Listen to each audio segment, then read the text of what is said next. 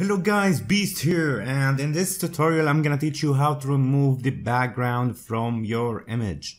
So for example I have a lot of examples that I have on my desktop so let's start with this one. Let's open this image with paint.net. As you can see there is a desktop background right and we want to remove that and we only want to leave the flower so what you can do is just press here on the magic wand. And if you click let's say on the white color as you can see it just selects all the white color. What we need to do is to remove the background right? So what we do is we click let's say on this color here. And all you need to do is press delete on your keyboard. See how simple it is. Now there is of course difference between the colors so we need to remove, remove the whole colors. If I press on this one as you can see it takes some of the flower and we don't want that so we need to play with the tolerance right here. Yeah, if I put it at 34 as you can see there's still some parts that is being taken off so let's put it a little bit lower 27 20 32 30 yeah but still some of the flower is being taken. 26 still 24 yeah I think this is the color I'm choosing so it won't take. Yeah that's good. Uh, here we are taking some of the flower so let's do it like that. And here I can even make it 34 because I didn't take anything from the flower yeah it's working now we need to put less. 24 looks fine. No actually okay. Right now as you can see I took some of the flowers. So what I want to do is to undo by pressing here or control Z on your keyboard. Let's make it um yeah this looks better. Let's delete this one this one this one. Actually let's put it a bit higher. Yeah this looks better. 23 is fine here. 23 is fine here. Let's remove this color. Actually we can put it higher. Yeah. You see you just keep playing with the tolerance and you press wherever you whatever you want to remove. Okay 31 is fine here. 31 is fine here. Yeah. Look look. It started to look beautiful actually what I didn't notice that I've took uh, some of the flower green thing. Wait let me go back. This is something important that you want to do. Of course if you don't care about it that's fine. You can do it this way. But just let me show you. I'm not gonna repeat the whole process. You got the thing. But but okay. Let's say we don't want to take this off right? We want to keep it with the flower. So what I can do is look 31 here. 31 you see now it it it takes some of it. So what you can do to keep the root of the flower you see? 22 is fine it seems fine. Yeah so we can do that. Look at that now we took it. So no we don't want to do that. Yeah it seems like a, very close colors. You see now I'm taking it and it looks beautiful. You see? See how easy it is just keep pressing whatever you want to remove.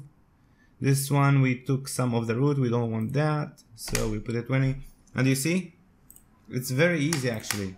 Look at that. So you keep deleting until you have the image you want.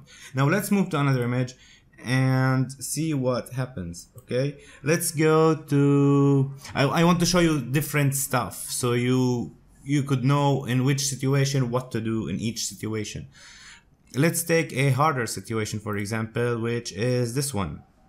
Let's say okay let's open this one with paint.net okay as you can see it's very very close colors. And let's say I want to take this circle out and I want to leave the background just a transparent. I don't want people or I want I don't want to use the background. Maybe I want to put this image on something eh, different something else.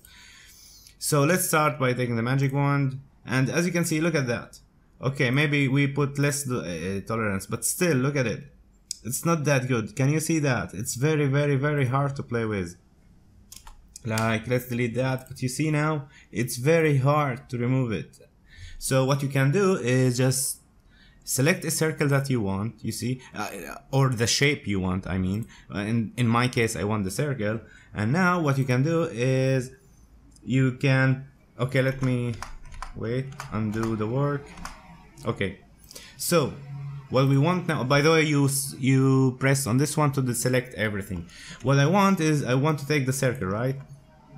So in order to do that what you do is you press and but, but but if you keep if you keep it that way it's very hard to make it a circle. So what you do is you keep holding the shift shift button.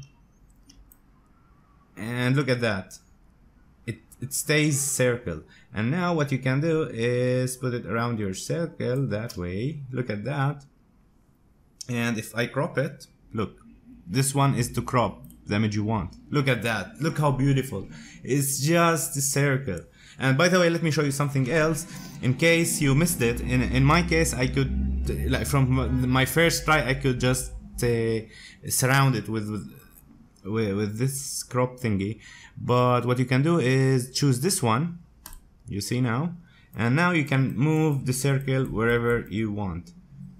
If you, let me show you what the other, the other selector does, uh, it takes the image out and that's not what we want to. What we want to is we want to adjust it the way we, we want like that for example and then you can crop it and look it's so beautiful and the way you want it.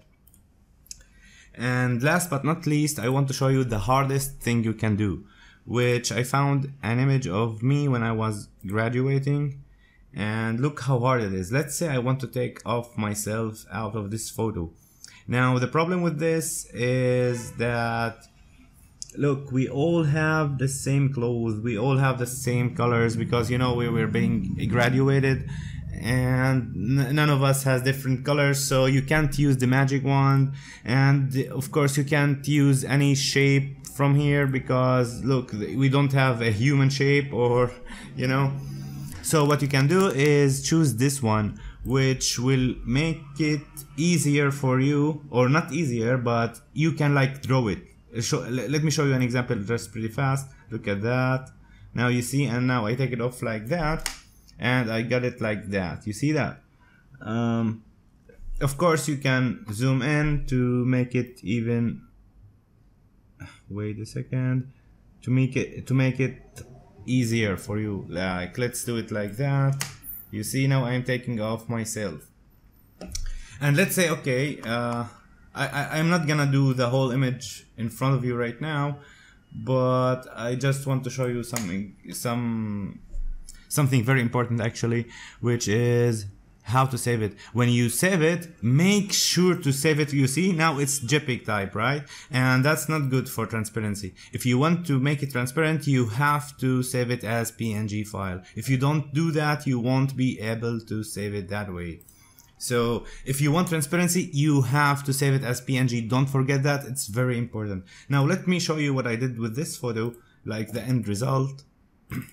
which is right here look at that look how beautiful it is i just of course you have to spend some time on it to in order to do it that way but look at the end result look at that it looks so good. Like I've made it maybe it took me 20 minutes or so, but it's worth it because I've got what I need and it's free software as I've said before. If you didn't watch the previous video, make sure to do that because like how to download and install the paint.net. It's free. It's not as good as Photoshop as I've said before, but it's way better than Paint that comes here with the PC. This that every Windows have it, but and by the way, with Paint, this one you can't make PNG, like you can't remove the background like Windows. I'm not sure if there is some uh, updates that made it possible with Paint, but with Paint.net you, of course, you can do that. You can save it actually a lot of types. You can choose whatever type you want. Look how many types we've got. BMP, which is of course allowed on YouTube as well. JPEG, PNG, even GIF, image, you have TIFF, and a lot more. So with paint.net it gives you a lot of options to save it and I think that's it for the tutorial. I hope I helped you how to remove the background from any image you want and I can't wait to hear your success. See ya! If you found it helpful, make sure to leave a like and subscribe to get notified when my next video is up. And if you have any questions, don't hesitate to ask in the comment section below, and I'll try my best to answer your questions. Thanks for watching, and see you in the next video. See ya.